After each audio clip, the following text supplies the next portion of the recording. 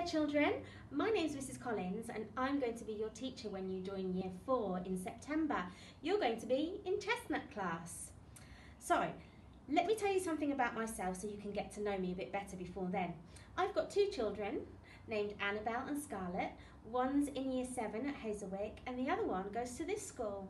She's called Scarlett and she's in year 6. My favourite things to do are drawing and painting, and you've probably seen me around in the library where I've been painting all the murals that are up there on the walls. Or perhaps I face painted you at a summer fair. You may also have seen me walking my dogs locally. I've got a little, two little cocker spaniels, one named Oakley and one named Harley, so keep an eye out for me there. And on a Friday, you'll have me, Mrs. Bryan. Everyone. Some of you might remember me from year one. I used to teach once a week, I think it was on a Tuesday, so you might remember me from then. Um, but yeah, I'm going to be here on a Friday. Um, when I'm not in school, I've got three children. I've got Isla, who's in year one. I've got Finley, who's at nursery and he's about to start school in September. And I've got Brody, who's just 18 months.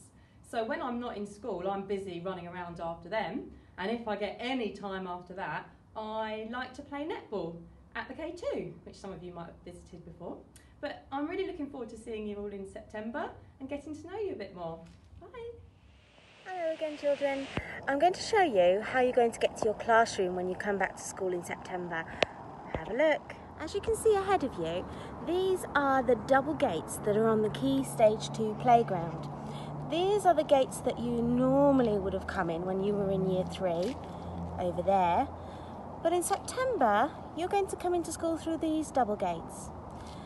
Over here are your year three classrooms. And to get to year four, you need to walk past this little friendship zone that was built last year. And keep walking past, keep walking past, keep walking past. And there's the friendship zone. Now, this classroom here, where you can see all these windows on the very end, that's chestnut class. You see this litter bin over here? this part of the playground is where you will wait to be let into school. You're not allowed past this bin in the mornings. Once you are asked to come in by a teacher, you're going to walk towards these picnic benches and then you're going to turn slightly left and there's our classroom there's our classroom door, but you won't be coming in through that door in the mornings. You'll be coming in through our cloakroom door, which is this door here. Okay? Look forward to seeing you all in September. Take care.